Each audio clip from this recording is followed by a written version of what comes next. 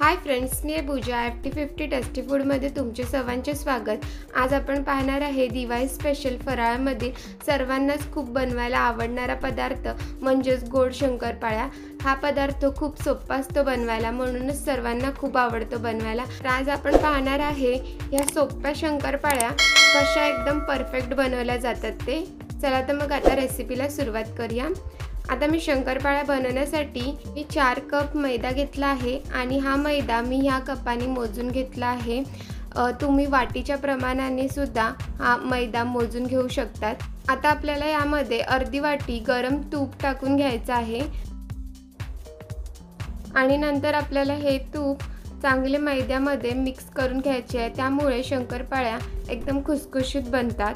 आता आपण चमच्याच्या साह्याने हे तूप एकत्र करून घेऊया मैद्यामध्ये. आपल्याला ह्यामध्ये हात घालून एकत्र करून घ्यायचे नाही कारण तूप गरम असल्यामुळे हाताला चटका लागू शकतो. म्हणून थोडं थंड झाल्यानंतर आपल्याला हे हाताने मिक्स करून घ्यायचं आहे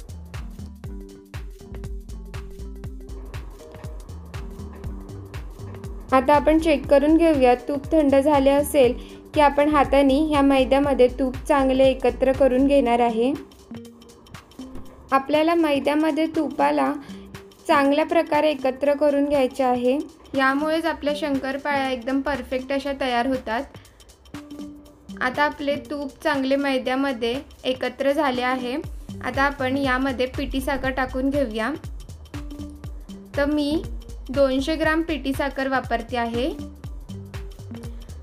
पहिला मी हा एक कप पिठी साखर टाकून घेतली आणि नंतर परत अर्धा कप पिठी साखर वापरते आहे.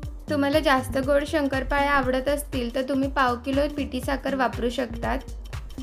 आता आपण ही पिठी साखर मैद्यामध्ये चांगली एकत्र करून घेऊया. आता आपण पिठी साखर मैद्यामध्ये चांगली एकत्र करून घेतली आहे. आता आपण यामध्ये वन एट कप बारीक रवा टाकणार आहे. म्हणजेच दोन चम्मच हा बारीक रवा आहे. तो आपण आता या मैद्यामध्ये मिक्स करून घेणार आहे. यामुळे शंकरपाळी एकदम खुसखुशीत बनते. आता आपण हा रवासुद्धा यामध्ये मिक्स करून घेऊया. आता आपले शंकरपाळी बनवण्याचे मिश्रण तयार झाले आहे. आता आपण थोडे थोडे पाणी टाकून पीठ मळून घेऊया. शंकरपाळीचे पीठ मळण्यासाठी थोडी जास्त मेहनत लागते तेव्हाच शंकरपाळ्या एकदम परफेक्ट अशा बनतात. म्हणून आपण हे पीठ चांगले मळून घेऊया. आपल्याला पाणी थोडं थोडं वापरूनच हे पीठ मळून घ्यायचं आहे. आता माझे हे पीठ मळून तयार झाले आहे. तुम्ही पाहू शकतात एकदम असे सॉफ्ट पीठ मळून घ्यायचे आहे. आता आपण हे पीठ अर्ध्या तासासाठी झाकून ठेवणार आहे.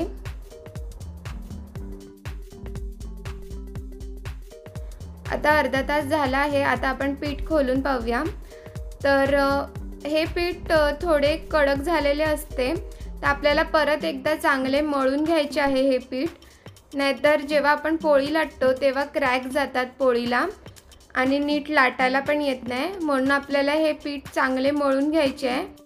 जेवढे आपण पीठ चांगले मळणार तेवढेच आपल्या शंकरपाळ्या एकदम फुगून तेलामध्ये डबल साईजच्या होतात आणि एकदम खुसखुशीत अशा शंकरपाळ्या परफेक्ट तयार होतात. आता आपण शंकरपाळी तयार करण्यासाठी पोळी लाटून घेऊया. शंकरपाळीसाठी लाटलेली पोळी ही जाडच ठेवावी. ही जास्तच पातळ लाटून घेतली तर शंकरपाळ्या कडक होतात. म्हणून आपण ह्या पोळीला जाडच लाटून घेणार आहे. तुम्ही पाहू शकतात ह्या पोळीची जाडी केवढी आहे ते. तर अशा प्रकारे आपल्याला पोळी लाटून घ्यायची आहे एवढ्या जाडीची. आता आपण शंकरपाळ्या कट करून घेऊया. मी चौकोनी शंकरपाळ्या कट करते आहे. तुम्हाला पाहिजे त्या आकारामध्ये तुम्ही शंकरपाळ्या कट करून घेऊ शकतात. शंकरपाळ्या करताना काही जण दुधाचा पण वापर करतात पीठ मळण्यासाठी. पण आपण दुधाचा वापर केला नाही. कारण जेव्हा आपण दुधाचा वापर करतो पीठ मळायला तेव्हा त्या शंकरपाळ्या जास्त दिवस टिकत नाही म्हणून आपण पाण्याचा वापर केला आहे. त्यामुळे शंकरपाळ्या जास्त दिवस टिकतात. आता आपल्या सर्व शंकरपाळ्या कट करून तयार झाल्या आहे. तुम्ही पाहू शकतात मी शंकरपाळीची जाडी केवढी ठेवली आहे. एवढ्याच जाडीच्या आपल्याला शंकरपाळ्या कट करून घ्यायच्या आहे. आता मी कढईमध्ये तेल मी गरम करायला ठेवले आहे. आपल्याला तेल एकदम गरम करून घ्यायचे आहे. त्यानंतर गॅसची फ्लेम स्लो करून त्यामध्ये शंकरपाळ्या सोडून घ्यायच्या आहे. तर मी झाऱ्यामध्ये शंकरपाळ्या घेतल्या आहे आणि असं कढईमध्ये सोडून घेते. हाताने आपल्याला सोडायला गेल्यावरती तेल हातावर उडू शकतो म्हणून झाराच्या साह्याने तुम्ही तेलामध्ये शंकरपाळ्या सोडून घ्या. त्याला झारा टाकून शंकरपाळ्यांना पटकन परतवून घ्यायचे नाही आहे.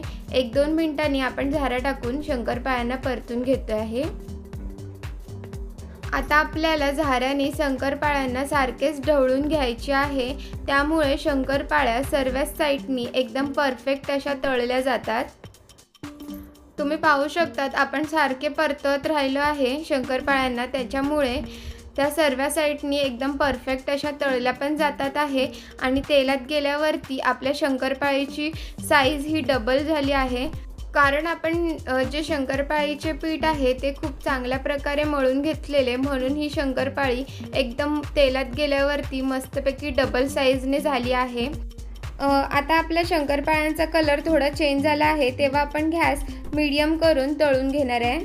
आणि आपल्याला शंकरपाळ्यांना झाऱ्याने सारखेच परतत राहायचे आहे त्यामुळे त्या करपत नाही आणि एकसारख्याच तळल्या जातात. आता तुम्ही पाहू शकतात शंकरपाळ्यांचा कलर गोल्डन ब्राऊन झाला आहे. तर आपल्याला अजून एक दोन मिनटं तळून घ्यायचे आहे शंकरपाळ्यांना आणि त्यानंतर आपण काढून घेणार आहे. आपल्याला जास्त शंकरपाळ्यांचा कलर ब्राऊन करून घ्यायचा नाही. कारण आपण जेव्हा शंकरपाळ्या तेलातून काढतो बाहेर त्याच्यानंतरसुद्धा त्यांचा कलर थोडा बदलतो. म्हणून आपण गोल्डन ब्राऊन कलर अशा प्रकारे आला शंकरपाळ्यांना की आपण तेलातून काढून घेणार आहे. तुम्ही पाहू शकतात एकदम परफेक्ट अशा आपल्या शंकरपाळ्या तयार झाल्या आहे. आता आपण या शंकरपाळ्या टिश्यू पेपरवरती काढून घेऊया. जेणेकरून शंकरपाळ्यांना एक्स्ट्राचं ऑइल असतं ते टिश्यू पेपरला लागलं जाईल.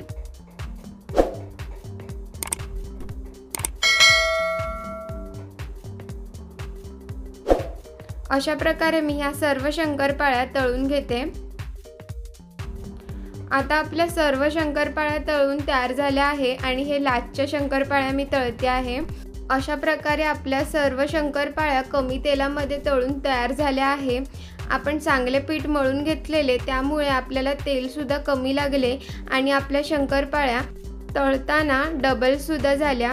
अशाच परफेक्ट शंकरपाळ्या बनवून घेण्यासाठी आपल्याला हे शंकरपाळ्यांचं पीठ असतं ते खूप चांगलं मळून घ्यावं लागतं तेव्हाच अशा शंकरपाळ्या तयार होतात.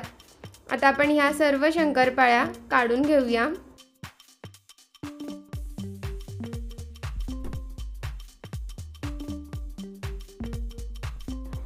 अशा प्रकारे आपल्या ताट भरून शंकरपाळ्या तयार झाल्या आहे. आणि ह्या शंकरपाळ्या अजिबात तेलकट नाही आहे. आणि एकदम परफेक्ट अशा शंकरपाळ्या तयार झाल्या आहे. आपण ह्या शंकरपाळ्या बनवताना दुधाचा वापर केला नाही आहे. म्हणून आपण ह्या शंकरपाळ्या जास्त दिवस स्टोर करून ठेवू शकतो. आणि ह्या अजिबात नरम पडणार नाही. आणि तुम्ही पाहू शकतात आपल्या शंकरपाळ्या अजिबात तेलकट पण झाल्या नाही आहे. आणि एकदम टेस्टी झाल्या आहे. तुम्ही पण घरी नक्की ट्राय करा. तुम्हाला पण खूप आवडतील या शंकरपाळ्या. आजचा रेसिपीचा व्हिडिओ तुम्हाला आवडला असेल तर व्हिडिओला लाईक करा. फ्रेंड्स अँड फॅमिलीमध्ये शेअर करा. तुम्ही अजूनही माझ्या चॅनलला सबस्क्राईब केले नसेल तर आठवणीने चॅनलला सबस्क्राईब करा. आता आपण भेटूया अशा दिवाळीच्या साध्या सोप्या फराळाच्या रेसिपीबरोबर नेक्स्ट व्हिडिओमध्ये